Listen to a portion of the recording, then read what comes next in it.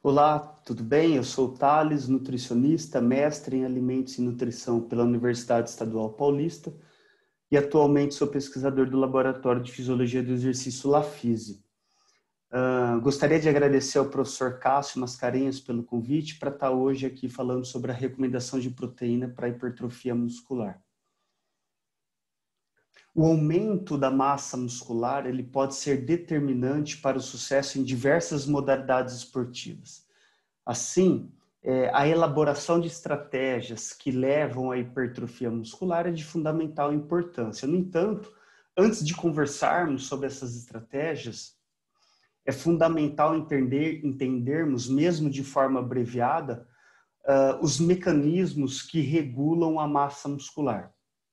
Assim, é, a massa muscular ela é regulada, então, pelos processos de síntese e degradação proteica muscular. Quando a síntese proteica muscular excede a degradação, há o resultado de um balanço proteico positivo e o predomínio desse balanço proteico positivo está associado ou pode levar ao aumento da massa muscular. Quando a síntese proteica é igual à degradação proteica muscular, o balanço proteico ele é neutro e dessa forma a manutenção da massa muscular.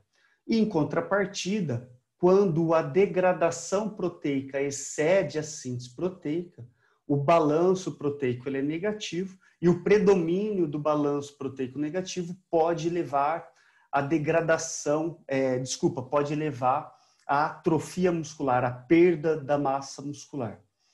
Portanto, é fundamental é, é, a elaboração né, de estratégias não farmacológicas, como as nutricionais, que visam impulsionar as respostas ou as respostas ou a resposta de síntese proteica muscular e amenizar a degradação proteica muscular para que se tenha um balanço proteico positivo e, consequentemente, a manutenção e até mesmo o aumento da massa muscular. Para ilustrar é, é, o que eu acabei de dizer, uh, esse trabalho ele mostra que o exercício de força e a ingestão de proteína estão entre as estratégias não, não farmacológicas mais eficientes em estimular a síntese proteica. Né? E vejam vocês que, com o passar do tempo, é, há necessidade de uma nova ingestão de proteínas e o, o, uma nova sessão de exercício de força, uma vez que a estimulação da síntese proteica ela é transitória. E dessa forma, o exercício de força seguido da ingestão de proteína a um aumento da síntese proteica, o que levará à manutenção, ou nesse caso, o aumento da massa muscular. Ok?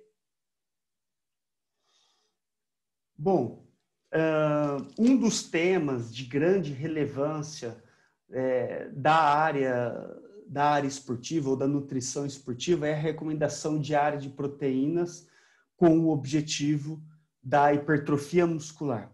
Diversos trabalhos têm mostrado uh, qual a recomendação ide ideal de proteína diária a ser ingerida para otimizar esses ganhos de massa muscular. Entre eles, um trabalho de 1992, é, um trabalho clássico né, do, de Mark Tarnopolsky, avaliou o efeito de três quantidades diárias de proteína na, na estimulação da síntese proteica e na inibição da degradação proteica muscular.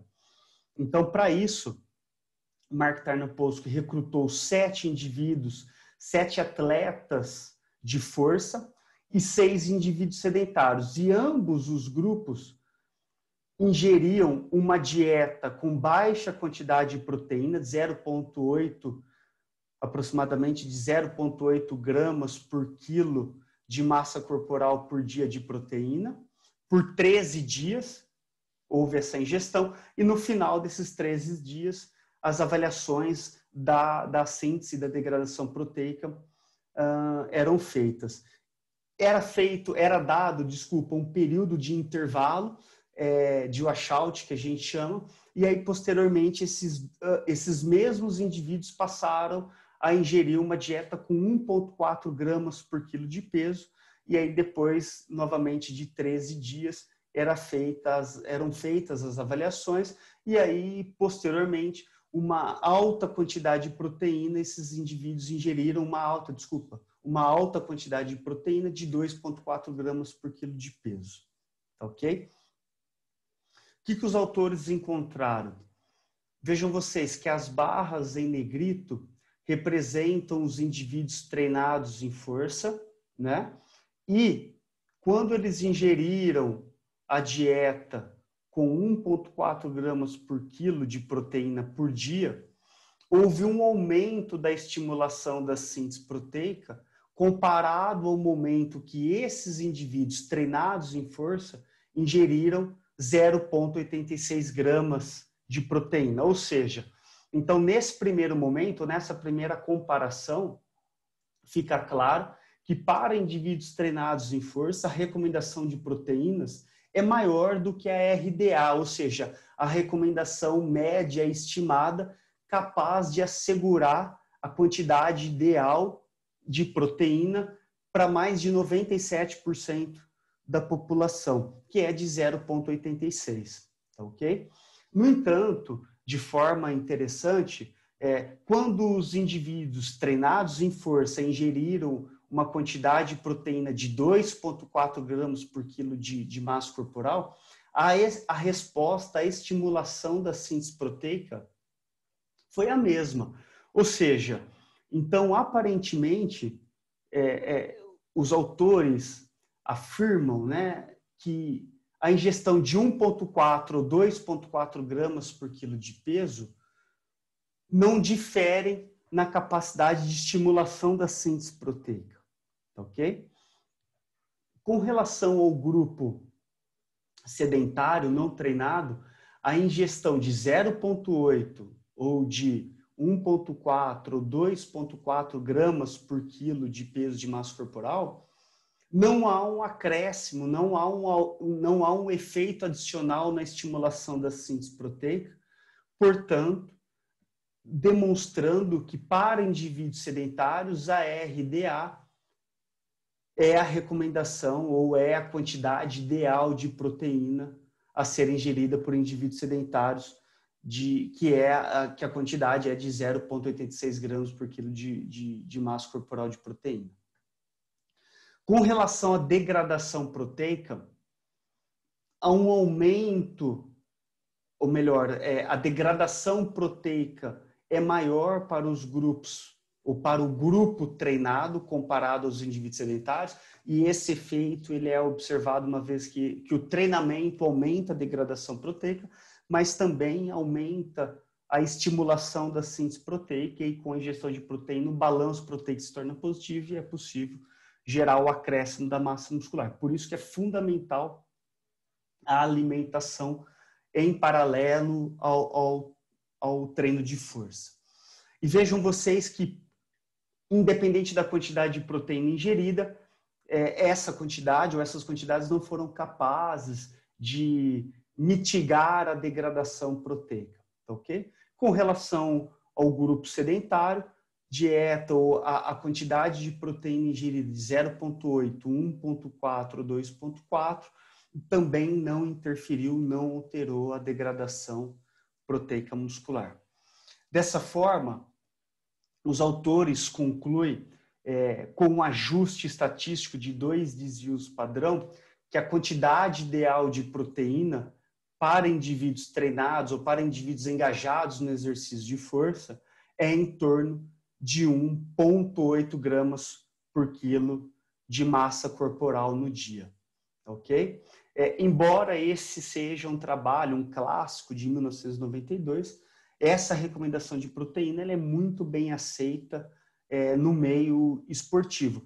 Claro que outros autores uh, recomendam quantidades similares, uma faixa entre 1,4 e 2 gramas por quilo de massa corporal. É, é importante salientar que a metodologia utilizada para quantificação da ingestão ou da recomendação, desculpa, da recomendação proteica diária é, utilizada nesse trabalho foi o balanço nitrogenado, né? E, e, atualmente algumas críticas têm sido feitas sobre essa metodologia, uma vez que trabalhos demonstraram uh, que essa metodologia subestima a, a, a, recomendação diária de proteínas, uma vez que as perdas de nitrogênio, prove, uh, as perdas de nitrogênio, ah, como por exemplo nos cabelos, nas fezes, nas unhas, não são quantificadas e isso subestimaria a recomendação de proteínas. É, é então, para a gente tentar esmiuçar um pouco melhor isso, eu apresento a vocês um trabalho mais recente, de 2017, de um grupo que ultimamente vem é, avaliando em diversas modalidades a, a, a, recomendação da ingestão de proteínas. E nesse caso, eles, é, por um método mais atual, que é o, o indicador de oxidação de aminoácidos, eles avaliaram diferentes quantidades de proteínas ingeridas por fisiculturistas, ok? Uh, e, o, e, e, qual o impacto disso na, na, na, na, estimulação da síntese proteica e mais precisamente no breakpoint que eles chamam para encontrar essa recomendação por esse método. Então eles recrutaram indivíduos fisiculturistas, tá? é, que não, nesse momento do estudo, não faziam uso de substâncias anabólicas ou de anabolizantes, desculpa.